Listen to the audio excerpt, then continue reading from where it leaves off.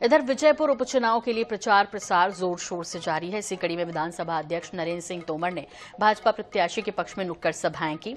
इस दौरान विधानसभा अध्यक्ष नरेंद्र सिंह ने कहा कि रामनिवास रावत अब मेरे साथ हैं। इस क्षेत्र का मंत्री बनेगा तो विकास भी दोगुनी गति से होगा। वन विभाग के जितने भी काम हैं, उनका भी निराकरण करवाएँगे।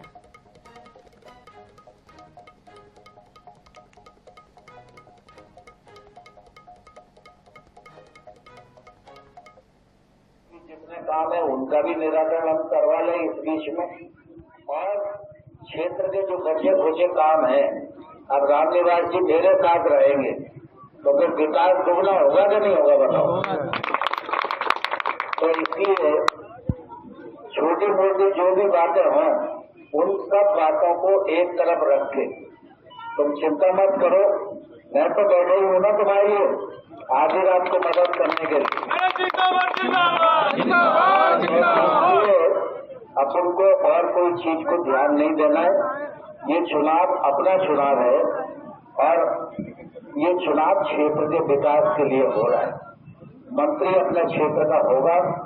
सरकार भारतीय जनता पार्टी की मध्य प्रदेश में है, केंद्र में भी है।